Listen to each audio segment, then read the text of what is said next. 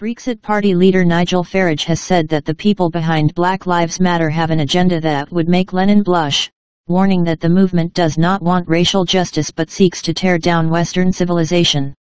Speaking to supporters during a Facebook live stream on Thursday, Mr. Farage remarked on the speed with which Black Lives Matter hijacked the death of black American George Floyd for its own purposes. The movement was rapidly imported to the United Kingdom under the banner of Black Lives Matter UK, and sports teams, the media, politicians, police, and church leaders were quick to parrot BLM narratives that Britain was a fundamentally racist country. If this was about equality of opportunity, if this was about a fair and just society, if this was about everybody, regardless of who they are, being treated fairly, squarely, and evenly, I wouldn't have a problem, Mr. Farage said. But we need to draw a distinction between what those three words Black Lives Matter represents and the Black Lives Matters movement, which he said was funded by wealthy special interest groups with an agenda that I think would have made Lenin blush. This is about all-out Marxism. It's about the destruction of capitalism. It's about getting rid of the nation-state as we know it. Of course, it's about defunding the police, the Brexit Party leader continued. He then criticized the British press for failing to do even basic research on the Black Lives Matter movement before espousing opinions on it.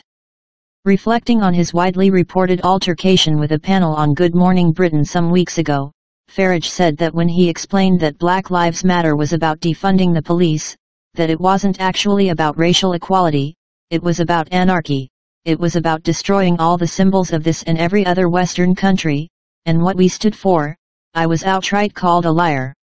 And yet, the truth, now, slowly is beginning to come out.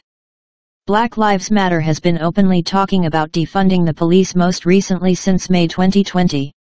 However, following recent Blumhook tweets in support of defunding the police and promoting the anti-Semitic conspiracy that the Jewish state of Israel is gagging political discussions, some of Blumhook's most vocal supporters began to distance themselves from it. England's Premier League football whose players took the knee at numerous games and wore Black Lives Matter emblazoned on the back of their shirts claimed that while it was against all forms of racism, it did not endorse any political organization or movement, nor support any group that calls for violence or condones illegal activity.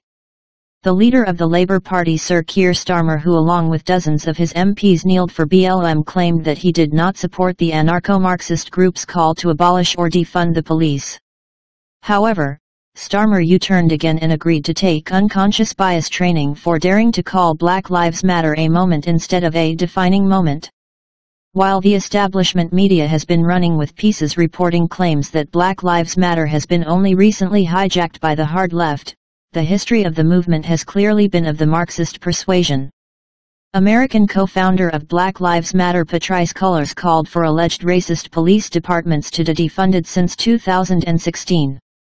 Reports have revealed from at least 2015 that Ms. Cullors, who describes herself as a trained Marxist, had been mentored by the communist former domestic terrorist Eric Mann. Mann was an associate of Bill Ayers, the former head of the Weather Underground. The militant left terrorist group took credit for dozens of bombings across the United States during the 1970s, including on the U.S. Capitol, the Pentagon, a New York City police station, and the California Attorney General's Office. This is about bringing about the end of Western civilization as we know it, not about racial equality. We should absolutely not be backing the Black Lives Matter movement, Farage said. The slogan, Black Lives Matter, and the wanting to end injustice and inequality is an laudable aim. The organization, Black Lives Matter, is a far left, Marxist organization that whose chief aim is to defund and close down police forces so that we would live Nigel. under anarchy. Oh,